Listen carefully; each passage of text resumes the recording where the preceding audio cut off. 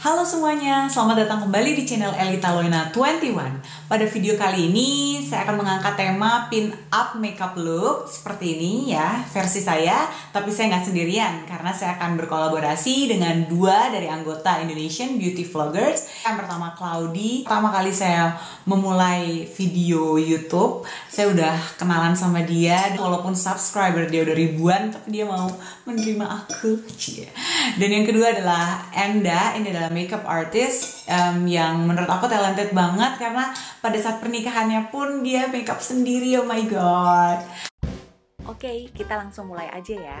Pertama, saya sudah mengenakan pelembab dulu, lalu sekarang saya mengenakan foundation. Di sini saya menggunakan Clinique Beyond Perfecting uh, Foundation Concealer 2 in 1.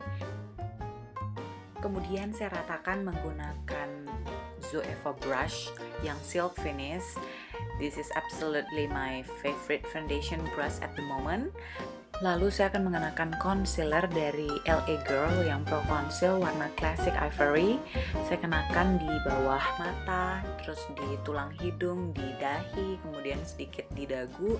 Lalu saya ratakan menggunakan sini jari manis ya ini enak banget kenapa nggak perlu brush ya bisa juga sih kalau kamu pengen pakai brush tapi di sini ngeblendnya tuh gampang banget lalu saya set dengan um, powder ke bagian-bagian yang sudah dibubuhkan concealer tadi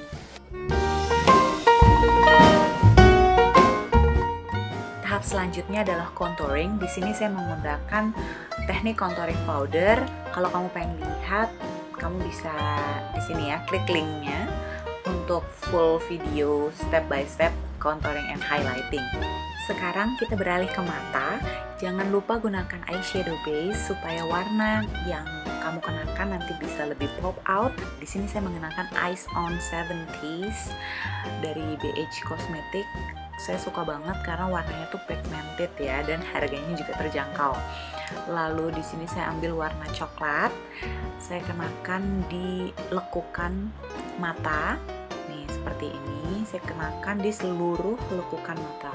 Kemudian saya ambil coklat yang tua dan saya akan kenakan dari ujung luar sedikit saja sampai tengah lekukan mata seperti ini supaya memberikan kesan yang lebih dalam aja kayak gitu.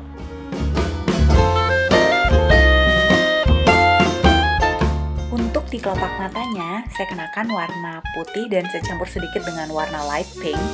Oh ya, kamu bisa ngelihat semua list produk yang saya pakai di description box. Jadi pastiin kamu baca description box di bawah video ini ya.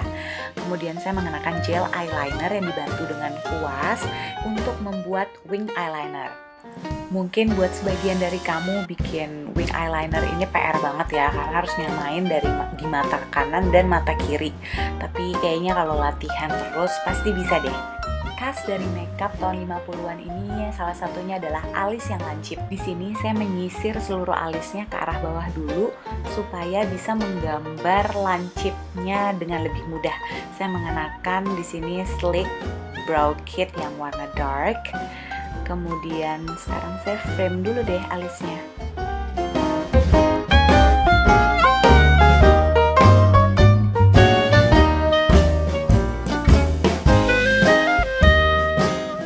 Udah dapat frame yang diinginkan, kamu bisa tebalkan alis kamu dengan warna yang gelap. Di sini saya memakai eyeshadow warna hitam.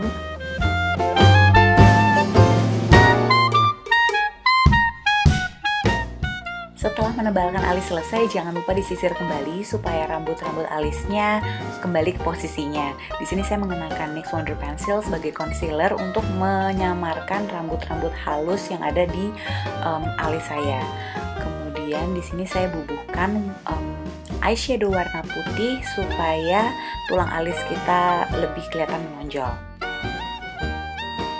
Kemudian menggunakan kuas mata yang pipih saya mengambil warna coklat yang sama seperti dilakukan mata.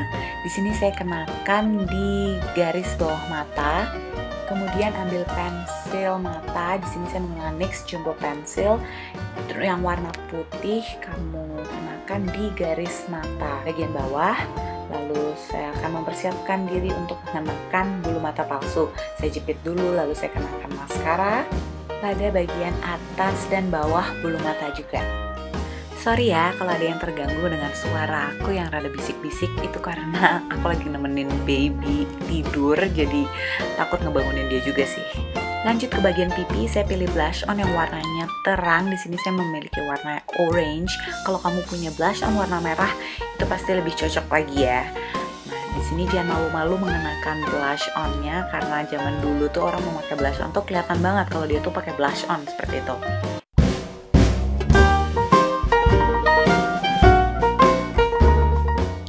Untuk bibir, saya mengenakan pensil bibir terlebih dahulu.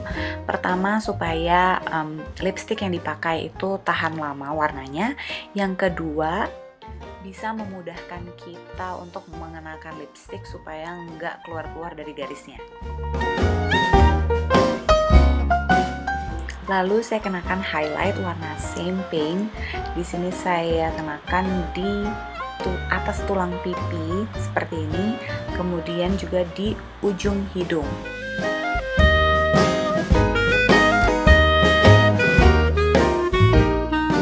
Oh iya, satu lagi, biar tampilan lebih maksimal, jangan lupa kenakan beauty mark. Di sini saya mau bikin tai lalat pakai warna yang coklat tua ya, nggak pakai warna hitam supaya lebih natural seperti itu. Jangan lupa komen, like, subscribe dan share video ini kalau kamu rasa bermanfaat dan semoga berkenan di kamu ya. Sampai ketemu lagi di video saya selanjutnya. Cheers!